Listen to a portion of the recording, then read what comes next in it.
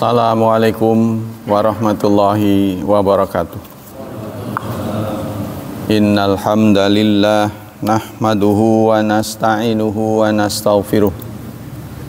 Wa na'udzu billahi min syururi anfusina wa min sayyiati a'malina. May yahdihillahu fala mudhillalah wa may yudlil fala hadiyalah. Ashhadu an la ilaha illallah wa ashhadu anna Muhammadan abduhu wa rasuluh la nabiyya ba'da. Allahumma salli wa sallim ala nabiyyina Muhammad sallallahu alaihi wasallam wa ala alihi wa sahbihi wa man sara ala nahjihi ila yaumiddin amma ba'd. Ayol ikhwah, kita lanjutkan kajian Fiqhu Bulughil Maram. Mendalami kitab Bulughul Maram versi mazhab Imam Syafi'i. Bismillahirrahmanirrahim. Taktimul Aqra bil imamati wa imamatis sabi. Mendahulukan keimaman terhadap yang akra Akro itu diambil dari kata koroa, membaca.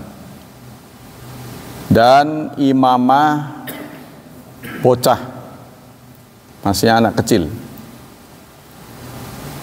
Dari Amr bin Salamah radhiyallahu an qal faqala abi ji'tukum min indi nabi haqqan. Kata Amr bin Salamah, dia berkata kepadaku, saya datang kepada kalian dari Nabi, maksudnya dari sisi Nabi. Saya barusan bersama Nabi, lalu datang ke sini. Hakon secara benar. Fakal Nabi bersabda, "Idza hadaratis salah, kalau salat sudah hadir, falyu'adzin ahadukum." Hendaklah salah seorang di antara kalian berazan wal ya'ummukum dan mengimami kalian aktsarukum Qur'anan. Yang paling banyak di antara kalian Qur'annya. Qal fanadharu falam yakun ahadun aktsar Qur'anan minni. Lalu mereka saling berfikir tidak ada satu orang pun yang lebih banyak Qur'annya daripada aku. Faqaddimuni maka mereka mendahulukan aku wa ana ibnu sittin au sab'i sinin. Aku saat itu enam atau tujuh tahun. Aku saat itu berumur enam atau tujuh tahun. Hadis riwayat Bukhari, Abu Dawud, Nasai apa yang dimaksud dengan akra di sini nah, kita akan pelajari aktsaru mini qur'anan warada bayanu sababi aktsariyati qur'annya anakana yatalaqa rokban alladzina yaftuna ilaihi wa yamuruna bi amr wa ahli Orang-orang menilai Amr bin Salamah ini sebagai orang yang paling banyak hafalan Qur'annya karena dia yang paling rajin belajar. Ya, dari mana mereka mengetahui Amr bin Salama ini hafalannya banyak? Ya, itu dilihat dari rajin belajarnya. Jadi kalau orang rajin belajar, insya Allah ingatannya banyak, banyak yang diingat. Nah, tapi kalau malas, sepinter apa pun, lambat. Ya, walaupun bisa lambat. Jadi ini kasusnya Amr bin Salamah ini adalah bagian dari utusan. Jadi orang rombongan datang pada Nabi belajar. Mereka kan dari jauh. Ya, jadi semacam sekolah lah gitu. Karena mereka berasal dari jauh, maka mereka bisa berlama-lama dengan Nabi. Ya, ada yang puluhan hari, 20 gitu. Mereka ya kuliah singkat lah. Nah, di antara rombongan itu yang paling rajin Amr bin Salamah. Ya, maka mereka kemudian mendaulat Amr bin Salamah ini untuk jadi imam. Padahal waktu itu dia berumur 6 atau 7. Kesimpulan hadis. Jawazu imamati sabi al-mumayyiz fil faridah. Boleh ya mengedepankan sobi anak yang mumayyiz yang sudah bisa mengurusi diri sendiri tamyiz namanya. Ya dalam sholat wajib. Wa huwa qaulus syafi'iyah. Ini pendapat syafi'iyah. Khilafan di Abi Hanifah wa Malik wa Ahmad rahimahumullah. Beda dengan Abu Hanifah Malik dan Ahmad jadi yang ramai di anut oleh umat Islam bangsa Indonesia ini Syafi'i. Kalau menurut Ahmad yang berkiblatnya ke Saudi Arabia nggak boleh anak kecil. Ya. Di bawah umur tidak boleh. Kalau menurut Imam Ahmad kan ada dua madhab ini. Saudara bisa lihatlah. Kalau sidainya itu tamatan Mesir itu sama dengan Indonesia. Dia berpegang pada Syafi'i. Lihat aja gurunya. Kalau saya sih campur. Kalau YIN kan campur. Ya, jadi kutubnya kutub mana? Kalau Arab Saudi ya kiblatnya ke mana tuh? Imam Ahmad. Imam Ahmad tidak membolehkan anak di bawah umur walaupun hafalannya banyak. Ya kita lihatlah anak-anak kadang-kadang di belakang dia ngebandungin imam. Ya, terutama juz amma. Bahkan imam belum belum bicara dia sudah duluan Anak-anak kita. Contohnya surat Ar-Rahman saya dengar juga hafal. Tapi kita yang dewasa malah mungkin enggak. Nah, tapi itu menurut Imam Syafi'i boleh. Ya. Wakala Ahmad Abu Hanifah, Ahmad mengatakan ya juzan fi nafal. Kata Ahmad dan Abu Hanifah, kalau sunnah boleh. Kalau sunnah, ini terlihat sekali oleh teman-teman kita yang di BBS itu, ya mereka nggak sadar walaupun karena dibimbing oleh guru yang kiblatnya ke Arab Saudi, cenderungnya ke Imam Ahmad. Contohnya kalau tarawih boleh baca mushaf. Oh, dulu kan kita punya tuh tongkrongan itu. Tongkrongan ini yang ada kakinya itu. Boleh baca mushaf. Jadi gede. Tapi dalam tarawih kan sholat isya itu kan ada dua. Yang wajib dan yang sunnah kan. Yang anunya kan isya. Nah isya mereka nggak membolehkan. Nah ini pendapat Imam Ahmad. Kalau saya sih boleh-boleh saja. Mana yang nyaman. Sebab kalau kita bacaannya cukup banyak, ada tuntunan mushaf itu cenderung terhindar dari kesalahan. Ya walaupun kita sudah hafal, ya paling tidak gatranya tahu oh ini. Kan jadi nggak ada kata bahasa Jawanya nggak gelagapan gitu. Contohnya alam alam a, a, a, nah gitu kan. Nah, ini kalau ada itu ada gatranya. Oh alam nasrah. Contohnya begitu. Tapi di sini buktinya disingkirin berarti Imam Ahmad. Imamnya saya Ahmad Syarif. Kenapa disingkirin? Kalau di saya bilang tuh di pengimaman Masjid Agung Cianjur gede-gedean itu malah. Qurannya bukan sekedar Quran lansia lebih gede lagi tahu beli di mana itu. Gede banget ya ada meja inilah. Dua per tiga. Jadi dibuka. Jadi itu akan nanti imam berikutnya ganti lagi lembarnya ganti lagi ya kali sini memang bagusnya sih hafal gitu tapi bagi orang yang tidak hafal itu kan lebih banyak yang bisa hafal baca tapi nggak hafal gitu kan ya bisa baca tapi nggak hafal daripada yang hafal. Tapi ada yang dua-duanya, yang nggak hafal, yang nggak bisa baca, itu yang parah. Wa qala Syafi'i rahimahullah al-aqra minas sahabat wal afqah. Menurut Imam Syafi'i yang dimaksud akra akra itu kan dia kata qira'a yang paling bisa baca itu maksudnya paling ngerti hukum. Karena pada umumnya orang yang ngerti hukum pasti bacaannya bisa. Nah inilah yang dominan pada pesantren-pesantren NU. Ya, mereka itu sangat ketat dalam soal bacaan. Orang sini aja, contohnya orang sini.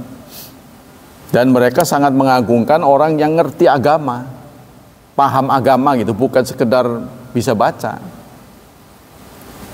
Ya di pesantren kita ini kan ada pesantren istilahnya kalau pesan, anu, NU itu kobongan dan tahfidz. Kalau tahfidz itu hafal, menghafal aja. Apa yang dia hafal nggak tahu isinya. Tapi kalau kobongan lebih kepada kitab-kitab kuning. Sering-seringnya hafalannya kurang gitu.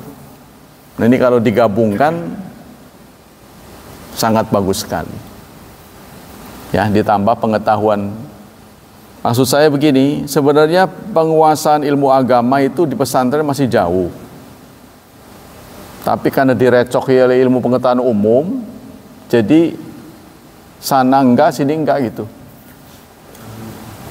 separo separo itu belajar bahasa Inggris ngertinya pula keluarnya yes or no gitu aja belajar bahasa Arab na'am mamalla itu keluarnya. Jadi dua tanggung gitu. Ya ini jadi ilmu singkatnya sangat luas. Kepengen ditelan semuanya singkatnya gitu. Nggak ketelan jadi dilepein. Akhirnya setengah-setengah. Tamat metamat tapi nggak punya keterampilan. Saya berandai-andai kenapa sih nggak penjurusan saja Ya, kalau orang barat itu kan spesialisasi. Orang barat melihat orang Indonesia itu heran. Semuanya bisa, tapi tanggung. Ini bisa, itu bisa. Jadi kalau bengkel dia buka beko bisa.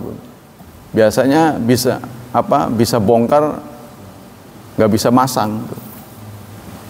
Semua bisa dibongkar, tapi masangnya bingung dia. Nah, ini kita. Jadi ilmu agama ini banyak tapi akhirnya begitu keluar gak bisa dia. Jadi menurut saya karena gangguan semakin hari semakin kompleks, maka kita fokus saja mau apa gitu. Bidang apa gitu. Ya, spesialisasi itu, bidang apa. Karena setiap orang nggak bisa dipaksakan, setiap anak nggak bisa dipaksakan di luar kemampuannya, di luar keinginannya. Kita kembali ke sini. Fil hadis bayanun anal imata abdalu minal adzan. Pada hadis ini menjelaskan bahwa imamah menjadi imam itu lebih utama daripada muadzin. Nah, makanya yang sudah bisa adzan tingkatkan lagi supaya jadi imam. Peningkatan namanya. Siapa tahu di akhirat nanti akan ada prioritas untuk imam. Siapa yang dulu jadi imamin? ya kan masuk duluan kan lumayan tuh saya walaupun sebalen mah merenai tapi kalau bakalnya bacaannya kacau jangan coba-coba nanti dikritik digendengin banyak orang. Kalau asal mah gitu ya. Ya anu aja milih aja yang sholat diem lah. Zuhur sama asar. Nah, itu yang yang bunyi ntar lagi pilih-pilih ya itu tapi jangan anu harus ada target. Dari Ramadan ke Ramadan itu kan harus ada target itu bentuk syukur. Liana lam yustarat fil muadzin syartan karena pada adzan pada muadzin tidak ada syarat. Pada muadzin tidak ada syarat yang banyak hafalannya kan nggak ada kan? Atau lebih tua lebih senior, itu enggak ada. Tapi kalau imam ada, ya karena imam memimpin kan, dia harus tahu hukum. Karena dia nggak bisa bertanya. Kalau kagol mah ini, kalau kagol kan nggak bisa nanya. Gitu. Dia harus punya hak prerogatif. Tuh, seorang imam tuh. Yang kedua, ketiga, al hadis dalilun ala al qauli bisihati salat muftarid khalfan mutanafil. Hadis ini menjadi dalil ya adanya pendapat sah kita melakukan salat wajib di belakang orang yang sunnah. Kan kemarin ceritain tuh ada sahabat yang sudah sholat bersama Nabi. Terus dia ngelihat ada orang telat, Nabi udah rengse, eh, mereka belum sholat. Dia tak imami ya. Bagi dia kan dia kan barusan sudah. Bagi dia itu sunnah. Yang kedua itu, walaupun pengikutnya itu wajib. Tapi persoalannya yang disinggung oleh ulama ini, kalau itu kan dari pertama, jadi ada niat. Kalau sekarang kita lihat orang sholat, lu kita ngimamin, eh apa, makmum aja gitu di belakangnya. Apa boleh? Kan harus ada niat. Ya. Jadi orang-orang biasanya nepuk bahu. Nah, ini saya sepanjang belajar ya, belum pernah ada saran untuk menepuk itu. Noel itu. Sebaiknya saya anu ngomong mungkin saya menjadi makmum. Maksudnya apa orang begitu itu? Supaya si imam niat tujuannya. Kan dia udah sholat wajib nih, dia sholat sunnah kan? Kan dia nggak tahu di belakangnya, kan? Nah, yang di belakang datang kepengen makmum. Dia ingin berkomunikasi, memberikan sinyal kepada orang itu bahwa saya ada di belakang Anda. Ya, kalau baca agak dikerasin gitu kan. Maksudnya begitu, supaya niat. Sebab kalau imam nggak niat, boleh nggak berjemaah itu imamnya nggak niat berjemaah. Nah itu yang diperselisihkan. Tapi kalau kasus ini, dia udah sholat, belum sholat ya? Ayo. Nah itu kan niat dari pertama. Ya, itu yang dipersoalkan. Jadi menjadi khilaf ya. Daripada kita tidak mendapat kejelasan ya lebih baik jangan yang dari pertama aja yang keempat warada fi ahaditsin ukhra wal ya'ummukum akbarukum. Dalam hadis yang lain ada redaksi hendaklah yang mengimami kalian yang akbar. Akbar itu hanya besar. Besar apanya? Boleh jadi besar usianya. Berarti lebih tua. Lebih tua. Boleh jadi akbar di sini lebih besar, lebih senior, lebih ngerti, lebih pengalaman, bisa jadi begitu. Contohnya di sini, kalau ilmunya sama, kalau satu berilmu, satu tidak berilmu, dahulukan yang berilmu. Kalau ilmunya sama, cari yang tua tuanya sama, tuanya sama yang pindah duluan. Siapa yang di sini duluan? Tuh, kalau sama ya udah silahkan aja, gantian aja udah. Ya suitan. Dalam Bukhari wasallu kama raaitumuni usalli. Dalam Bukhari disebutkan salatlah kalian seperti kalian melihatku salat. Yang kelima, bayanu talabil adzan li salah hatta qama qala ba'dum inna wajib wasahi annahu mandub. Hadis ini menjelaskan tentang dianjurkannya, dituntutnya azan untuk salat. Ya. Jadi kalau kita mau salat wajib itu sunnah azan dulu. Terutama kalau kita membentuk jamaah sendiri. Kalau sini kan sudah diazanin nggak perlu azan sendiri. Ini kalau kita membentuk kelompok sendiri, azan dulu. Ada yang mengatakan wajib, tapi berdasarkan penelitian azan itu sunnah. Warada fi riwayat wal ya ummuku akbarukum qila al muradu bi afqah. Dalam hadis yang lain disebutkan hendaklah yang memimpin kalian yang akbar, yang lebih besar. Ada yang menafsirkan lebih besar itu maksudnya lebih banyak ilmunya. Wakila ala zahiri akra waktalafal fuqaha. Nah, ahli fikih berbeda pendapat. Faqala ashabu syafi'i rahimahullah al-afqah. Muqaddamun al-akra. Kalau ada yang satu hafalannya banyak, yang satu ngerti hukumnya lebih banyak, menurut mazhab syafi'i didahulukan yang ngerti hukum fikih ya. Fa salat amrun la yaktir ala murati salat fihi ila kamila fikih. Karena salat tidak mungkin bisa dipimpin oleh orang yang nggak ngerti hukumnya maksudnya. Ya, hukum ruku apa terutama yang masih banyak saya lihat tumak ninah di berbagai tempat. Tumak ninahnya kurang Walaupun dia dai, kita nggak peduli mau dai mau apa kalau nggak sesuai dengan Nabi ya nggak boleh. Jadi yang paling kentara itu iktidal. Ya, sami Allahu liman hamidah. Kayaknya begitu turun dia langsung turun. Begitu tangan turun langsung turun gitu. Harusnya kan berhenti sebentar. Ya. Tumak nina itu bagian dari rukun. Jadi harus berhenti sebentar. Bahkan ada bacaannya kan?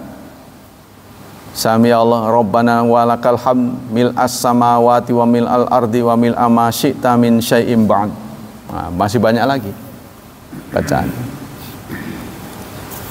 Jadi kalau menurut mazhab Syafi'i ada yang hafalannya banyak, ada yang ngerti hukum lebih banyak, maka dahulukan yang ngerti hukum afqah Fa inna salat, nah itu tadi sudah disebut. Wa lihadza qaddamana Abu Bakrin radhiyallahu an fi salat. Dalilnya adalah karena itu Nabi mendahulukan Abu Bakar.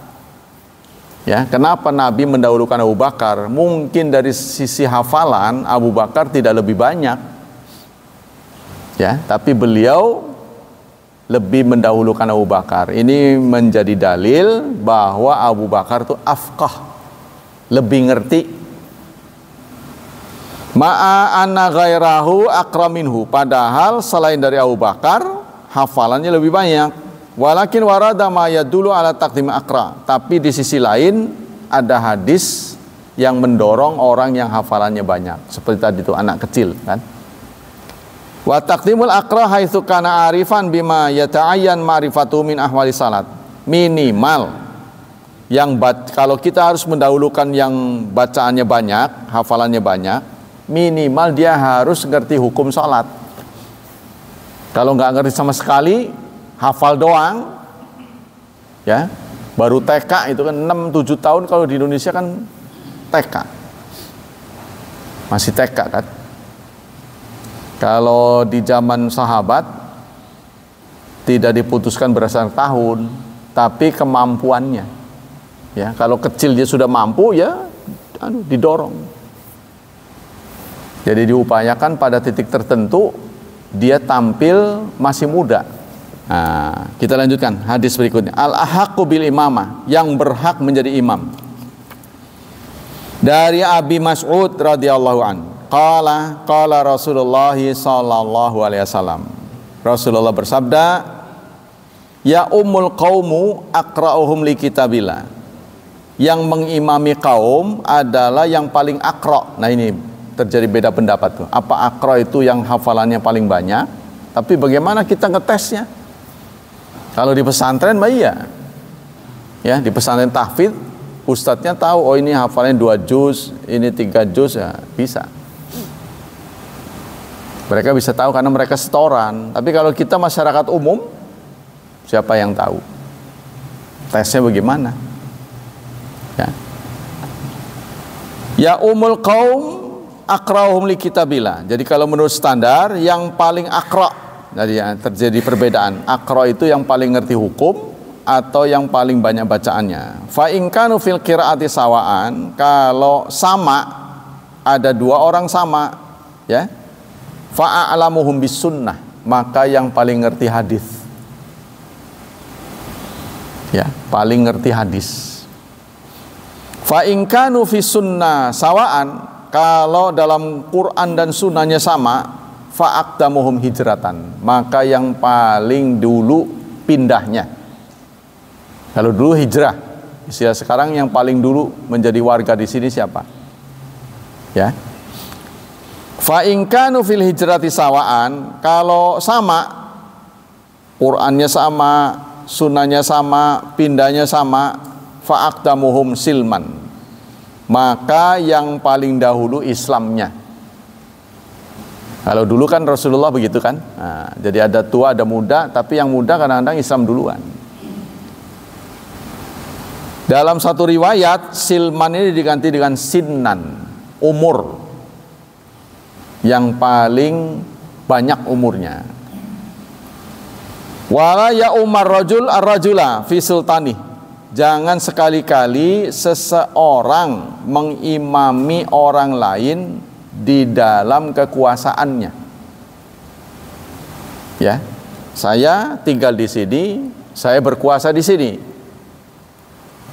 Saya tinggal di sini, saya tidak berkuasa di tempat lain. Maka kalau saya sholat di tempat lain, jangan mengimami Tuh, Ya. Karena itu sudah di luar kekuasaan dia. Bukan tempat tinggalnya. Wala yaqudu fi baitihi ala takrimati ila bidhi. Dan jangan duduk dulu di rumah orang kecuali diizinkan. Sebelum diizinkan, ya wala yaqudu fi baitihi dan jangan duduk di rumah orang lain ya demi menghormatinya sebelum diizinkan. Jadi kalau belum diizinkan nama yang tuan rumah sebelum diizinkan oleh tuan rumah jangan duduk. Ya ini namanya etika ya. Nah, jangan mengimami kalau tidak diizinkan. Kalau diizinkan silakan. Nah, kita baru Ya begitu ya, nah, akhlaknya begitu. Jangan nyelonong aja. Ya, kalau diizinkan, silahkan Bapak yang imam. Baru. Apa kesimpulan hadis ini? Fil hadis dalilun liman yakumu bi taqdimil akra ala afqah. Hadis ini menjadi dalil bagi orang yang mendahulukan akra terhadap afqah. Akra itu yang bacaan Quran banyak, afqah itu yang fikihnya banyak. Wa huwa madhabu Abi Hanifah wa Ahmad. Ini adalah madhab Abu Hanifah dan Ahmad rahimahumallah. Wa ba'du Syafi'iyah dan sebagian Syafi'i. Wa qala Malik wa Syafi'i rahimahumallah ta'ala wa ashabuhu wa ashabuhuma al-afqa muqaddam ala aqra. Tapi menurut Malik dan Syafi'i yang afqa didahulukan daripada yang akra. Ya, yang paham tentang hukum nah, harus didahulukan li'anna alladhi yahtaju ilaihi min amat butun. Karena tentang kiroah tentang penguasaan bacaan itu terbatas.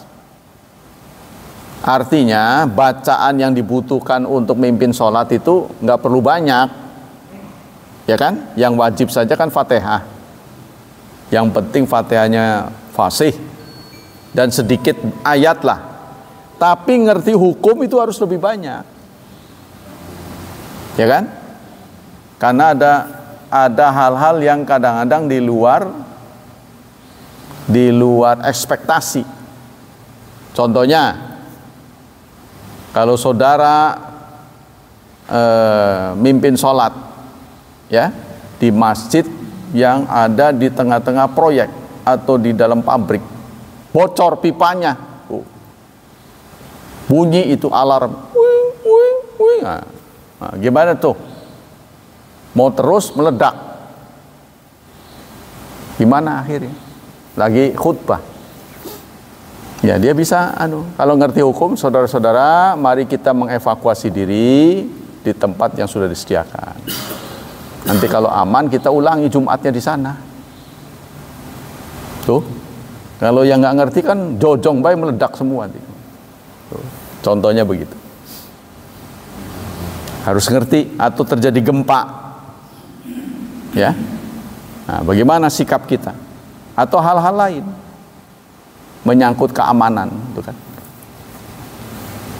Nah, ini sulit bisa dipahami oleh anak yang kurang pengalaman. Waqad ya'aradu fi salah amrun la yaqdiru ala mura'ati sawab ila kamila fikih. Nah, kata ini sih jelaskan. Kadang-kadang nanti terjadi sesuatu urusan yang tidak bisa ya diatasi oleh orang yang kurang ilmunya. Karena dia cuma modal bacaan. Walidzalika qaddaman Nabi Abu Bakrin radhiyallahu salah. Karena itulah mengapa Rasulullah mengedepankan Abu Bakar Padahal dari sisi bacaan boleh jadi beliau sedikit ya. Ma'anau nasala nagaira akraminu. Padahal banyak riwayat yang menyatakan sahabat lain itu lebih bacaannya lebih banyak daripada Abu Bakar Siddiq. Wa ajabu anil hadis bina akramina sahabat kana huwal afqah. Dijawab ya orang yang berkeberatan mengerti apa memahami akro itu mengerti akro itu tetap yang bacaannya banyak karena di zaman sahabat tuh menyatu katanya kalau kita kan terpisah di zaman sahabat tuh menyatu orang yang bacanya banyak ngertinya banyak zaman sahabat kan di zaman sahabat dia ulil amri dia imam bacaannya bagus ngertinya banyak jadi satu kalau sekarang kan yang mimpin nggak ngerti imam imam nggak bisa mimpin pisah-pisah, bagi-bagi job. Ya kan? Kalau di zaman Nabi jadi satu. Dia tentara, dia komandan, dia imam, dia guru, ah jadi satu. Diborong lah anunya. Pahalanya diborong. Kalau sekarang tentara ya tentara, sipil ya sipil. Sipil nggak mungkin dikerahkan untuk jadi tentara kecuali terpaksa. Sebab untuk bisa angkat senjata itu butuh latihan. Salah-salah malah dirinya yang ketembak. Wa ajabu an hadisnya ada ini. Fa in kanu fil qirasa wa fa'alu bisunnah. Kalau penguasaan Qur'annya sama, maka yang lebih menguasai sunnah. Nah, sunnah lebih lebih rebet lagi. Siapa yang tahu hafalan sunnah? Ya, kecuali di pesantren tuh minimal hadis arba'in kalau di tempat-tempat tertentu bulughul maram itu jadi kantong. Hafal. Bulughul maram itu jadi hafalan. Kalau kita kan sekedar pengetahuan. Wa yu'malu ala takbin akra mutlaqan wa li syafi'i wajhun anal aura muqaddam afqa wal akra. Ada lagi menurut mazhab Syafi'i yang aura. Aura itu yang etikanya lebih baik warai orang yang yang ada warai ada zuhud kan saya pernah bicarakan ya apa bedanya warai dan zuhud warai seseorang dihadapkan pada halal dan halal halal dan halal dia dihadapkan pada dua halal tapi dia milih satu halal nggak serakah lah singkatnya banyak tuh halal halal halal halal halal eh Salah dik. Warai itu dihadapkan pada halal dan haram. Warai itu halal dan haram. Dia milih yang halal. Itu warai. Kalau zuhud lebih naik. Halal dan halal. Halalnya banyak. Ini bisa, ini bisa. Tapi dia nggak pilih semua. Ya, contohnya gitu. Contohnya kita membangun rumah mentereng bisa. Kita pakai kendaraan yang bagus bisa tapi dia memilih sederhana. Itu namanya zuhud. Zuhud lebih tinggi daripada warai. Karena zuhud, zuhud pembawaannya sederhana, tapi punya kaya hatinya. Sebab orang yang berpenampilan tertentu nggak punya dengan punya beda, ya kan? Orang berpenampilan sederhana sebenarnya dia punya, nah, itu hatinya kaya tenang hatinya. Dihina orang juga biarin aja. Dia nggak ngerti. Tapi beda dengan orang yang berpenampilan sederhana nggak punya. Ketika dihina sakit dia. Ya, saya memang nggak punya, nangis dia. Tapi kalau punya dihina ya ketawa dia. Nggak ngerti dia. ya kan? Seperti Nabi kan. Kalau bagi yang adil. Kan sahabat-sahabat ini. Pada melotot. Siapa yang paling adil? Kalau ada Nabi. Bukankah Nabi paling adil? Ya, karena dapat bimbingan wahyu. Jadi orang Arab Badui itu langsung anu aja. Kalau bagi yang adil itu, main ini aja. yang menentukan adil apa enggak itu Nabi. Katanya gitu ya. Yang kedua, yaqaddamul yaum man yuhajir min dari kufr ila dari Islam. Didahulukan orang yang hijrah. Kalau dia hijrah dari Mekah ke Madinah, siapa yang duluan? Jadi ini penentu ya. Apa penentu nilai. Jadi nilai tadi tua. Ya. Banyak ngertinya, pengalamannya banyak. Terus faktor lain adalah penguasaannya, wawasan Islamnya. Terus pengalaman hidupnya, tuh, faktor tuanya. Li'anal hijrah baqiyatun ila yaumil qiyamah inda syafi'i wa jumhur ulama. Karena hijrah itu akan terus berlangsung sampai hari kiamat. Nah, berarti kalau hijrah itu kaitan dengan kita berarti yang tinggal duluan di sini. Siapa yang duluan? Contohnya kalau ada BBS 2 dan BBS 3, lah berarti BBS 2 lebih tua. Yang ketiga, idza stawa syakhsani fil fikhi wal qiraah wal hijrah rajah ma yataqaddam islamu wa yukabaru sinu. Kalau wawasan fikih, qiraah dan hijrahnya sama, maka didahulukan yang senior, yang lebih umur. Li'annaha fadilatun karena umur itu juga keutamaan. Jadi maksudnya dengan banyaknya umur berarti banyak pengalaman. Ya, banyak pengalaman berarti kemungkinan untuk mengatasi masalah lebih mampu. Begitu maksudnya. Yang keempat, sahibul bait wal majlis wa imam masjid ahaq min ghairi. Sahibul bait yang punya rumah, yang punya majlis dan imam masjid itu lebih berhak daripada yang lain. Ya sama dengan sholat jenazah yang lebih berhak keluarganya. Yang bukan keluarga sifatnya fardu kifayah menunggu komando dari keluarga. Saya minta diimami oleh ah itu baru. Berarti dia mendelegasikan kewajiban. Ya begitu juga area tertentu yang dikuasai oleh seseorang berarti kekuasaan dia hak dia maka jika dia menentukan silahkan Bapak jadi imam. Ya, itu baru kita mendapat delegasi, mendapat uh, perwakilan. Wa in kana zalikal ghair afqa wa aqra meskipun orang asing itu lebih bacaannya lebih banyak, tapi yang lebih berhak tuh yang punya rumah. Wa makan ahak fa insya taqaddama insya qaddama man yuridu. Yang punya tempat itu lebih berhak menjadi imam. Dia boleh ya mengcover sendiri atau dia mendelegasikan orang lain. Silahkan.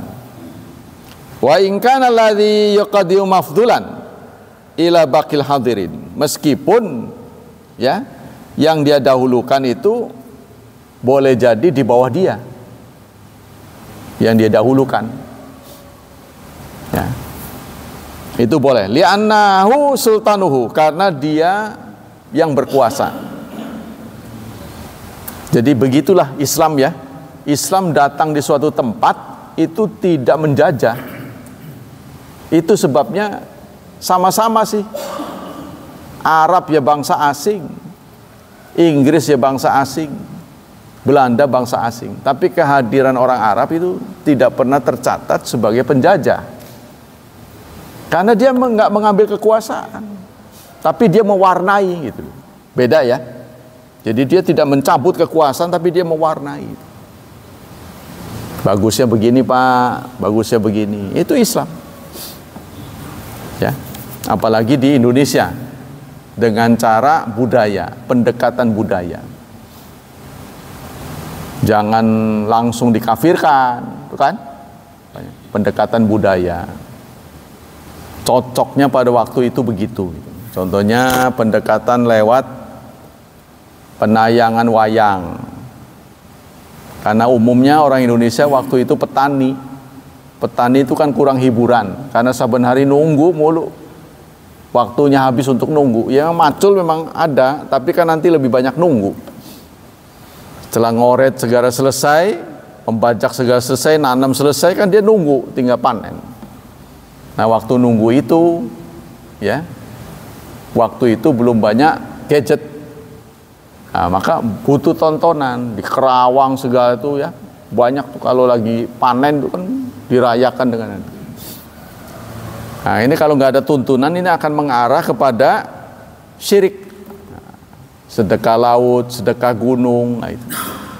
Islam mengajarkan pada kita ngapain kamu sedekah, jelas-jelas nggak dimakan, ya kan?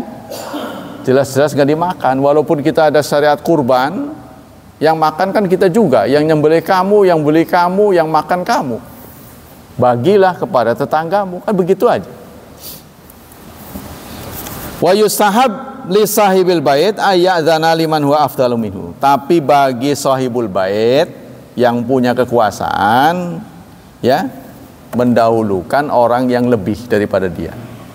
Nah, kalau dia lihat tamunya lebih daripada dia, bagusnya bagusnya tamu itu. Tapi harus perkenan dari dia, jangan diam-diam aja. Yang kelima, qala ashabu Syafi'i rahimahumullah rahimahumullah inna sultan au naibau muqaddam ala sahibul bait.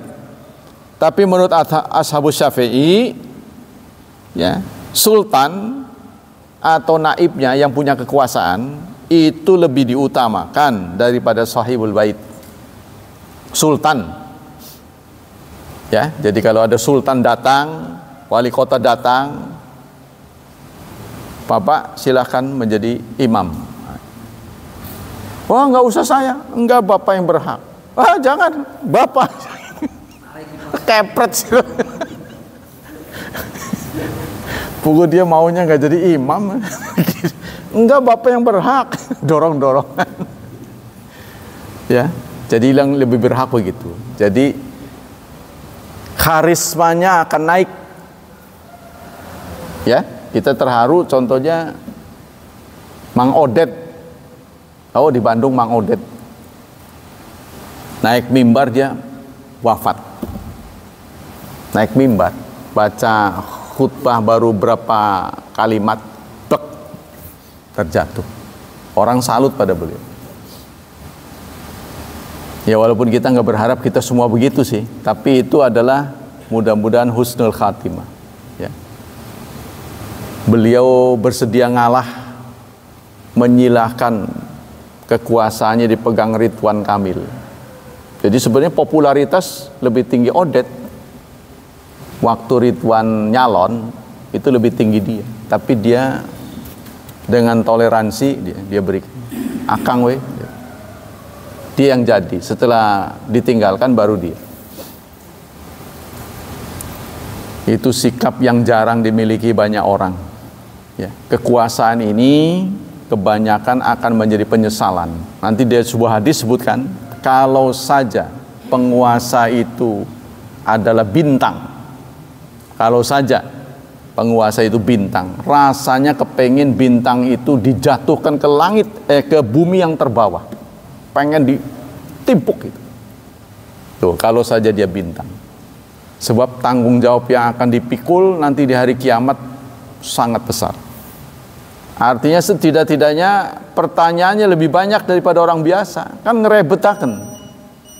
Orang mau udah pada masuk ke sana ke surga. Nanya lagi, nanya lagi. Ini bagaimana? Ini bagaimana? Ini bagaimana? Tambah lama, tambah rebet. Tuh, maka kalau bisa jangan jadi ya. Kalau sama-sama bisa hidup nyaman buat apa sih jadi penguasa itu kalau saya lihat jadwalnya aja merinding itu jam sekian harus jam sekian mumet amat sih yang keenam an-nahyu anil qud mimma yahtasu bi rajul fi manzilatihi hadis ini melarang kita duduk duluan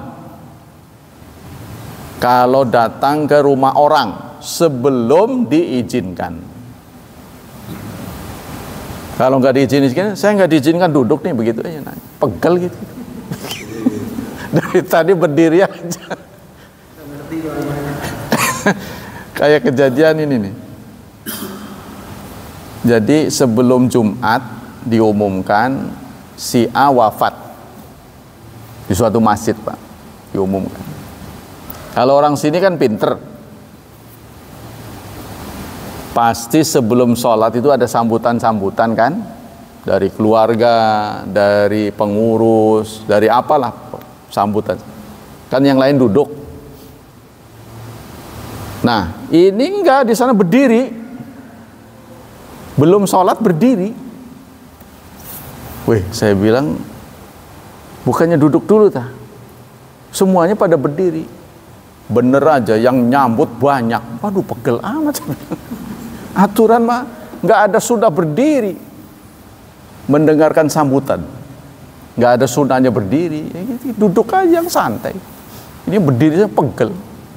Kayak mau sholat aja begitu. Udah medes-desek gitu. Aduh duduk aja santai.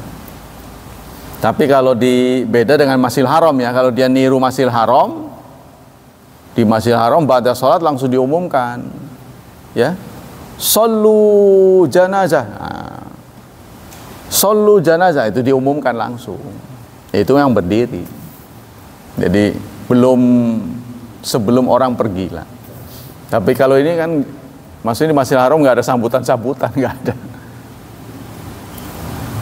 Kita lanjutkan. Imamatul mar'a wal arab wal fasik. Keimaman wanita Arab dan orang fasik. Dalam hadis yang dirawikan dikumpulkan oleh Ibnu Majah dari hadis Jabir, Rasulullah bersabda, "Wala ta'ummanna imra'atun rajulan." Jangan sekali-kali perempuan mengimami laki-laki. Ya. Jangan sekali-kali perempuan mengimami laki-laki. Nah, bagaimana kalau laki-lakinya anaknya sendiri? Sementara belum usia dewasa, anak-anak kan nggak bisa jadi imam dia ngawur, wong masih TK, gimana?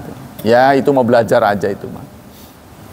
Jadi kalau menurut di sini nggak boleh. Wala Arabiyun muhajiran dan jangan orang Arab ya mengimami orang muhajir. Maksudnya orang Ansar karena muhajir kan lebih senior dia kan Islamnya duluan kan? Wala fajiran mukminan dan tidak pula boleh orang fajir penjahat mengimami mukmin. Tapi isnatnya wahin, isnatnya ini lemah.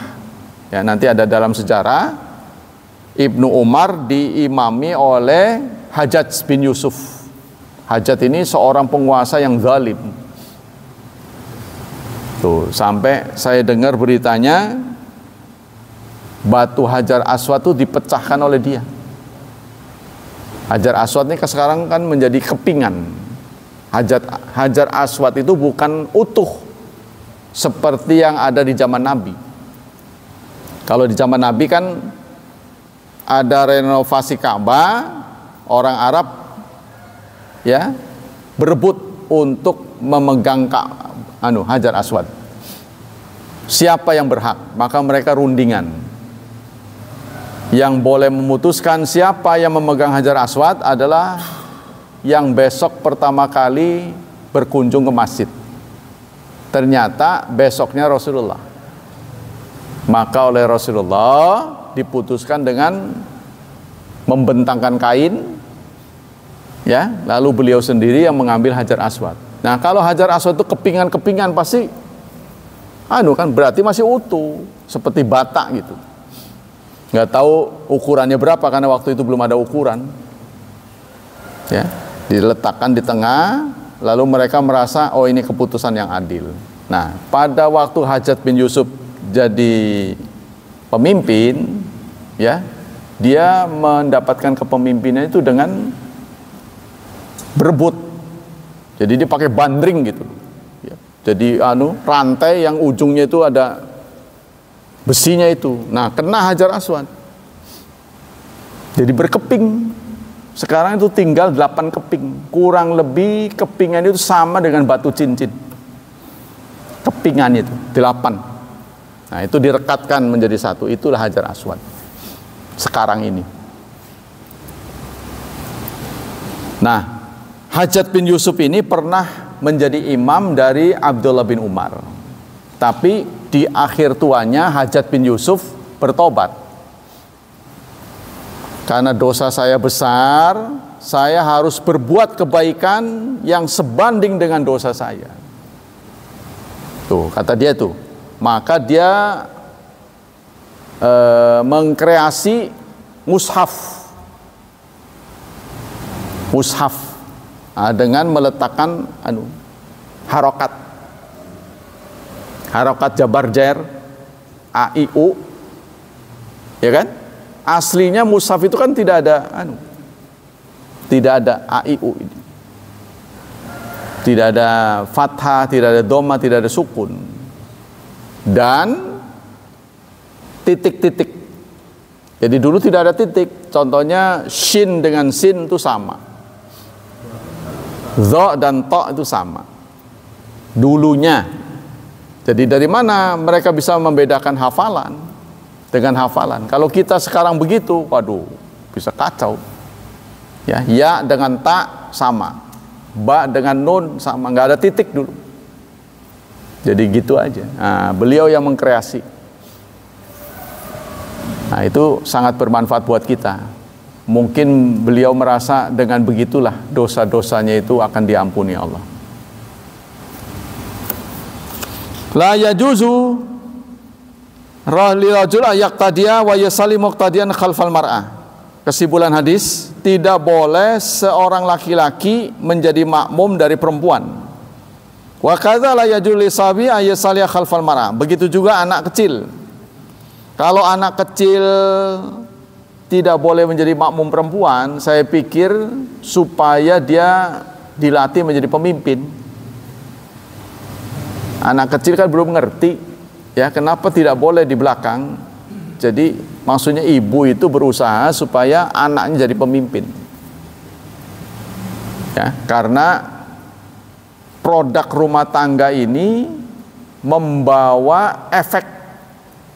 Contohnya, kalau kita tipe seorang ayah yang otoriter, selalu nyalahin, nanti si anak kalau sekolah itu minder. Karena dia terbayang di rumah takut disalahin lah. Makanya kita kan punya anu. Kamu dulu eh jangan saya, Bu. Nah, itu akibat dari di rumahnya disalahin. Artinya kita selaku orang tua itu kadang-kadang tidak adil. Saat anak kita benar, kita nggak puji. Tapi waktu dia salah kita maki. Kalau salah dimaki-maki. Sehingga menimbulkan ini. Ya, trauma. Nah, traumanya itu kadang-kadang dibawa sampai ke sekolah. Kalau dapat giliran pertama dia geder-geder. Karena di rumahnya sering begitu. Tapi kalau di rumahnya sering didorong, kamu harus jadi pemimpin, kamu harus terus dibanggakan. Bahkan kadang-kadang kita, saya membiasakan di rumah itu anak suruh bicara. Silahkan kamu nasihati orang tuamu bicara bicara satu-satu. Kamu punya cita-cita apa? Kamu ditakdirkan sebagai manusia harus ngapain gitu. Dia cerita. Masing-masing. Saya biasakan begitu. Nah, pendidikan ini sangat membekas pada mereka. Sangat membekas. Jadi mereka merasa orang tuanya itu orang pertama yang mereka anggap terbaik di dunia ini ya mendorong mereka untuk jadi jadi nggak dimaki kamu cerita apa siapa tahu ada di antara kita ya orang tuanya yang salah, yang harus diperbaiki apa. Dia cerita, saya punya cita-cita begini terus begitu. Jadi sebelum dia pidato ke depan di depan orang lain, persilahkan dia pidato di depan kita. Nah, kalau kita salahin, ada yang salah kita bisa lurusin. Ya. Yang kedua, la yajuzu ayya umar arabi muhajiran. Orang Arab tidak boleh mengimami orang muhajir karena muhajir duluan. Wala alau mahmulun al karaha, tapi ini bukan batal. Ya. Kata di sini gini, la yajuzu rajul ayak tadi wa yusallim muqtadiyan khalfal mara wa kadza la yajuzu sabi ya fa in salah khalfaha wa lam ya'lam summa alima lazim i'ada li butlani salati. Kalau ada orang yang menjadi makmum perempuan, dia nggak tahu itu perempuan, makmum aja gitu. Nah, setelah itu dia tahu, eh perempuan, nah, segera setelah dia tahu harus membatalkan diri. Tuh, ya. Li'ana imamat al-mar'ah zahiran galiban bisauti wal hayat. Karena perempuan mudah ditandai dengan suara dan sikapnya. Katanya begitu. Ya tapi kalau orang memalsukan diri kan bisa aja. Ya kan? Memalsukan diri.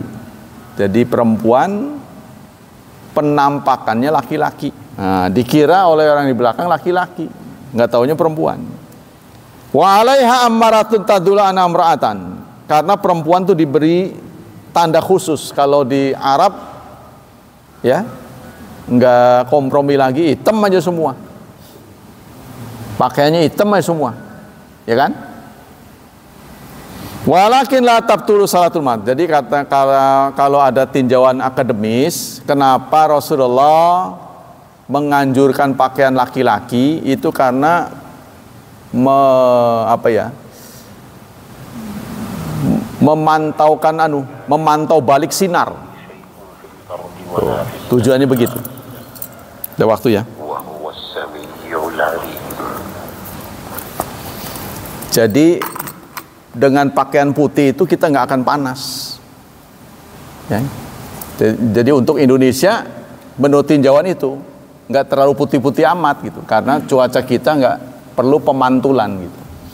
Tapi kalau di sana, nah kalau perempuan gimana? Semuanya hitam sana mah. Iya penyerapan berarti. Harusnya kan sama-sama putih dong. Kalau tujuannya pakaian itu untuk memantulkan. Nah, demikianlah kajian kita pagi ini. Ada yang bertanya sebelum ditutup? Cukup ya? Demikian kajian Fiqhu Bulughil Maram pagi ini. Semoga Allah melimpahkan pahala yang berlipat ganda untuk kita. Semoga Allah tetap berkenan menyelamatkan dan melindungi kita dari wabah dan fitnah, dari syubhat dan syahwat tidak lupa kita selalu berdoa semoga anak-anak kita hidupnya dimudahkan, diberkahi serta dibimbing oleh Allah untuk menjadi hambanya yang salih dan salihat. Subhanakallah wa bihamdik asyhadu an la ilaha illa anta astaghfiruka wa atubu ilaik. Wassalamualaikum warahmatullahi wabarakatuh.